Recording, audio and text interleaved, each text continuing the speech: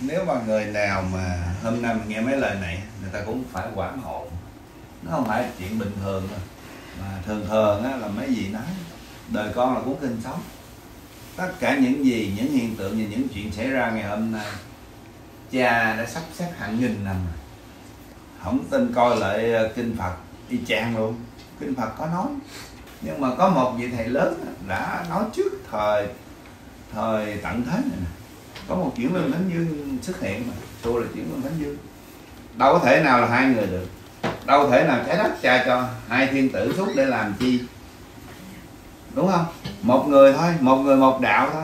Chứ không lẽ giờ cho hai thiên tử xuống lập hai đạo rồi đánh nhau hả? Làm sao? Chúa chỉ một người thôi, chứ đâu phải chúa hai người.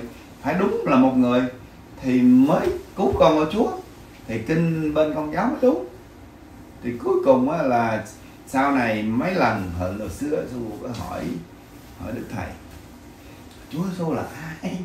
Ông cười ô chúa sư chỉ là một vị bồ tát như những vị khác thôi con đừng bận tâm không có làm chuyện không ông đâu có nói cái mỗi lần vô ra ngồi thiền nói với anh bác hỏi mấy ông thánh tư đạo mấy ông hiện về ờ, này nọ.